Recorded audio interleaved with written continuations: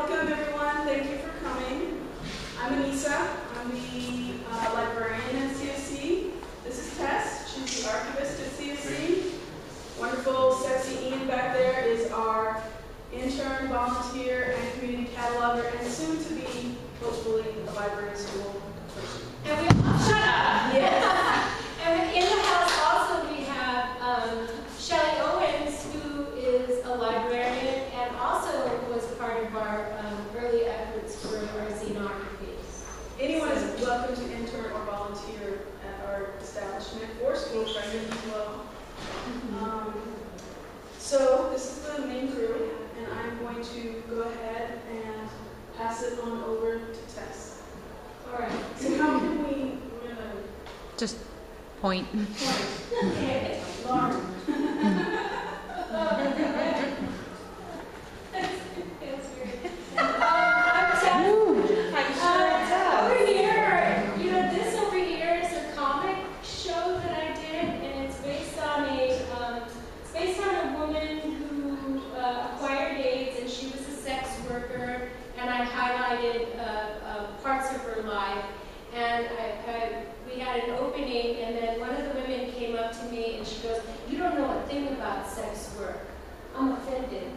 So um, I wrote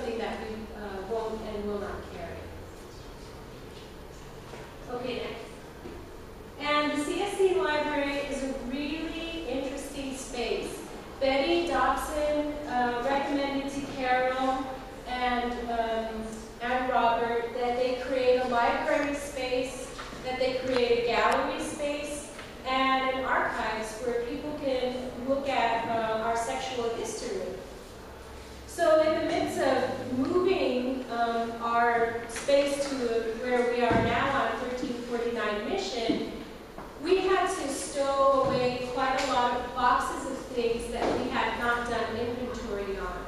And we put it what was called the wet room, and we had over, I, I, I'd say like hundreds and hundreds of boxes that we had never seen before. And then finally in April, uh, we're going through the boxes, we're like putting things on shelves, we're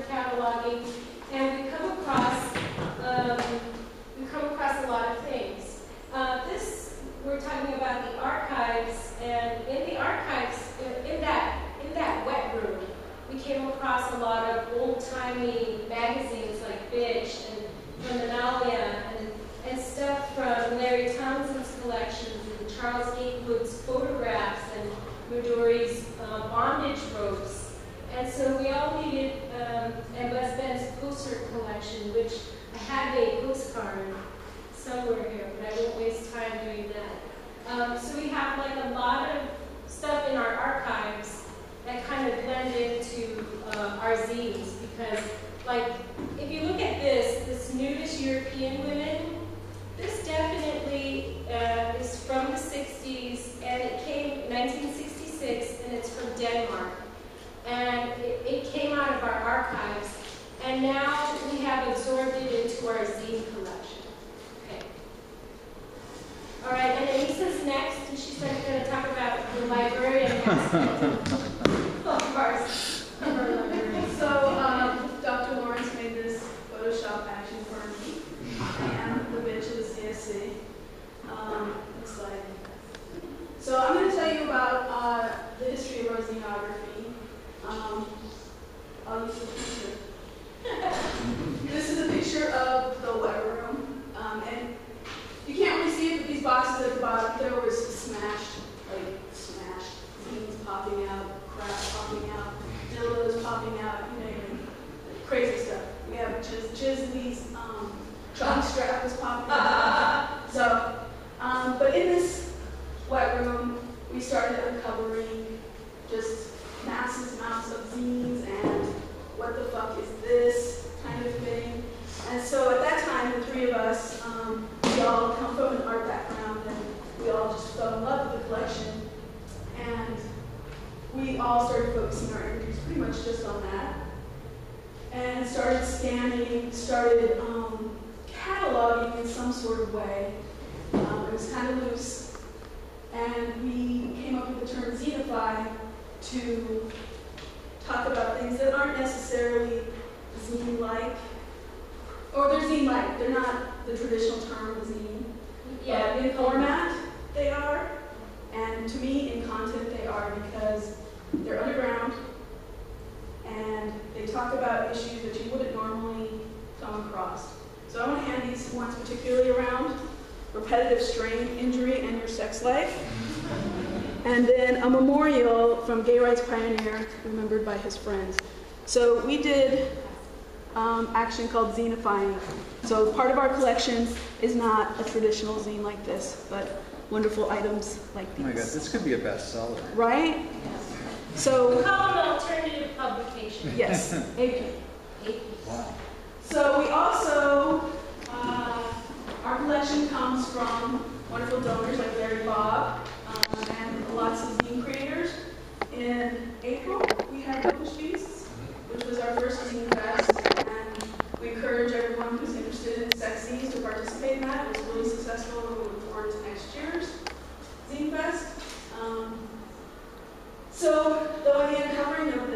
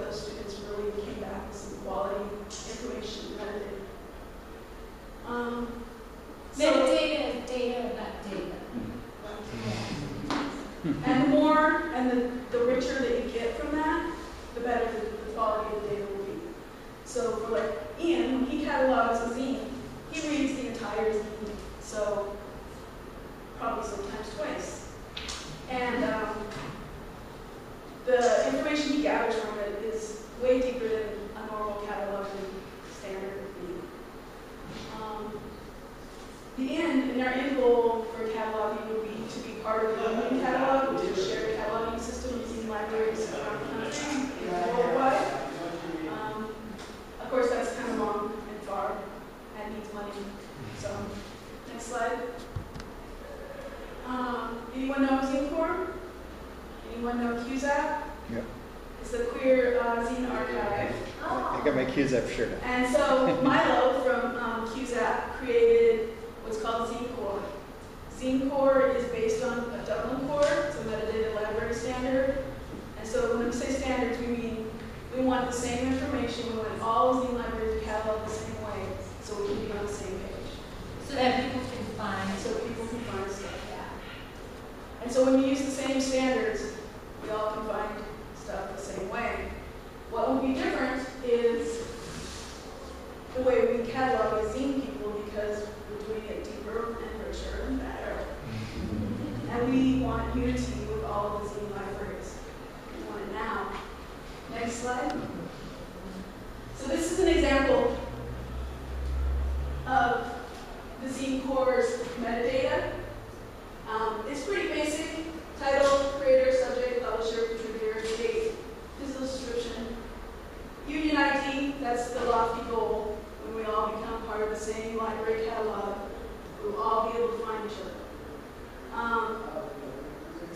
in our initial cataloging at CSC, we pretty much had this standard going. We only ended up adding a few things, which my favorite is freedoms and restrictions. Um, for me, and I hope for most librarians and most artists, we want our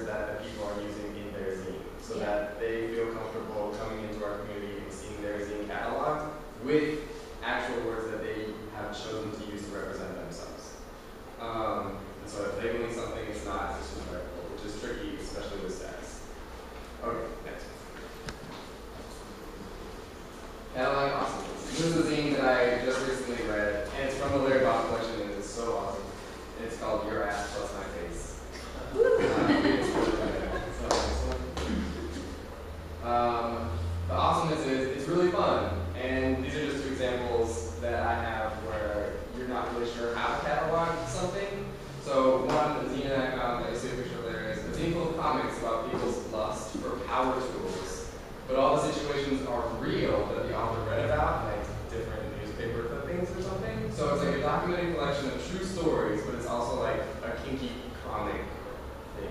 So now as you're like also trying to read it, like, is it what? What is it catering to? How does it? Where does it fit in our collection? Um, and then another one is where you find like gay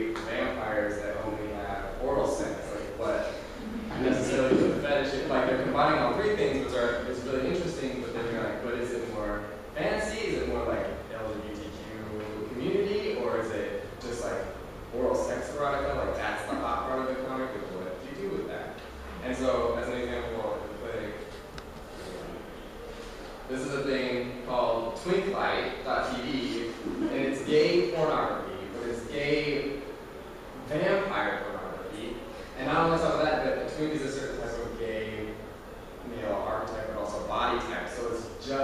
certain body type of gay people who are enacting vampire fantasies in pornography.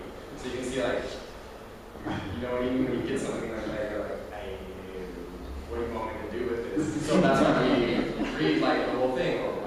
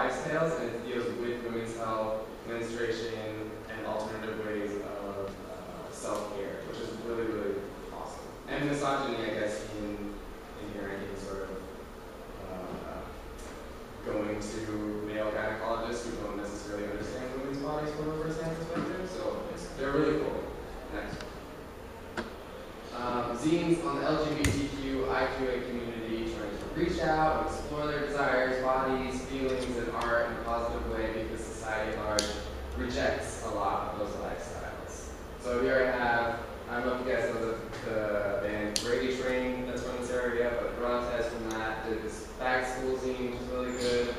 Who are the Gay People and Other Essays by John Burnside, who's a radical fairy. S&M International was bi Girl World is another one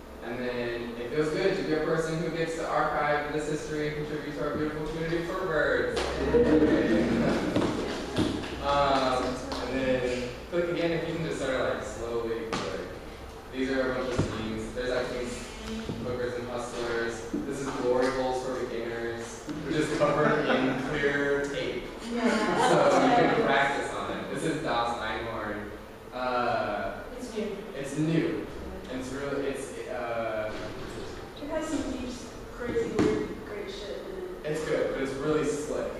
Yeah. Um, this is S for sex space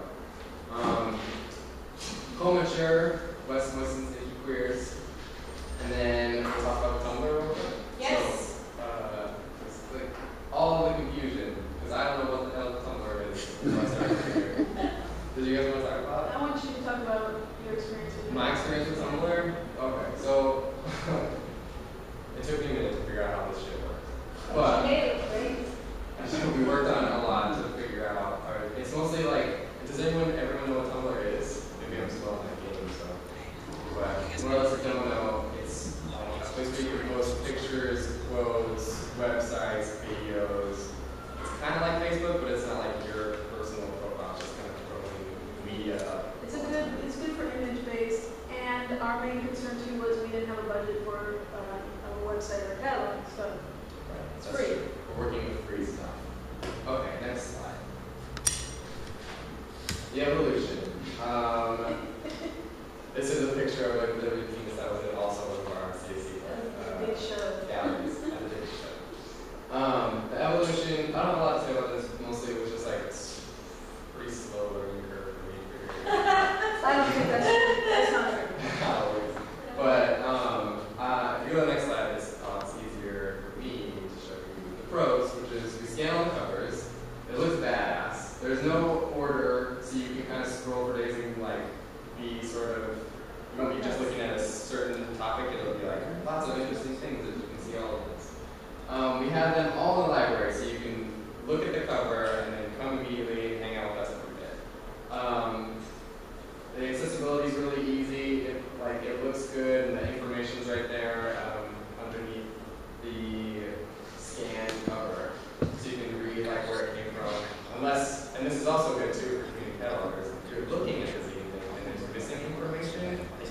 know it, you should tell us.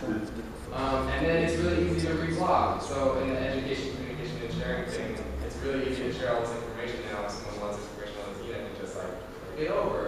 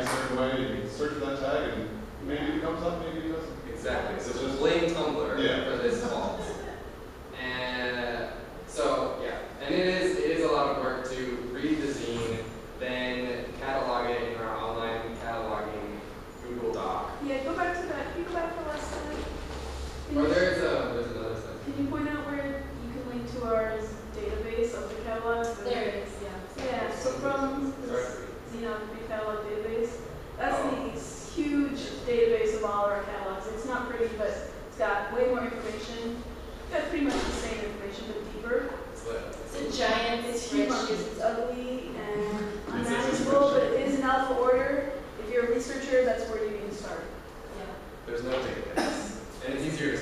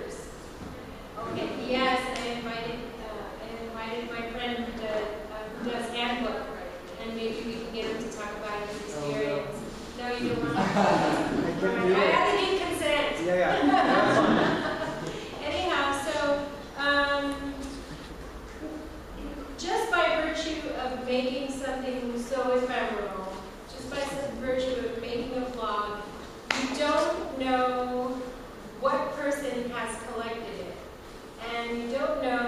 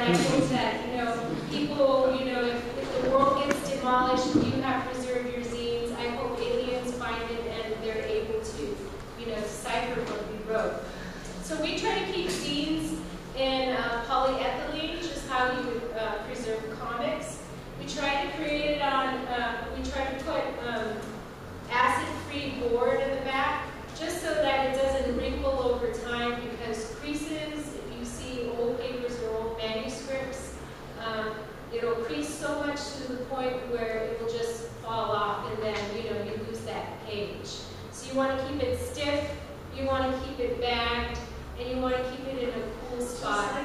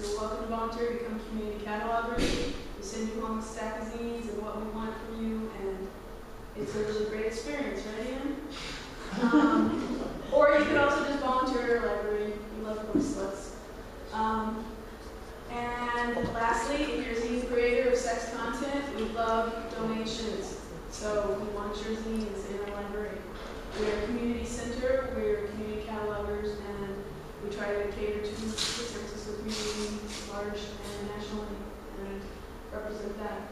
And hopefully, in the future, we'll have money and budget to make it a real searchable catalog and part of larger.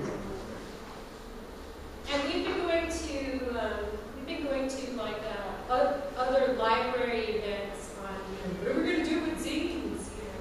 So we're pretty much in the know of what's going on with, um, um, ha- giving access to zines in libraries. And we wanna be able to be those advocates for you. We want everybody to like have the benefit of having a zine in the library. It's just that a lot of librarians are not, you know, don't know what to do with it. So they need a little bit of education too. So, So we brought a lot of our collection, which we have 10, 15 minutes left. You guys can feel free to delve into it. That's all the stuff that's been cataloged in our collection. We have, I think hopefully most of you got our zine of our zine. We have that. If you didn't get that, come get it. We also have information for libraries who want to do cataloging.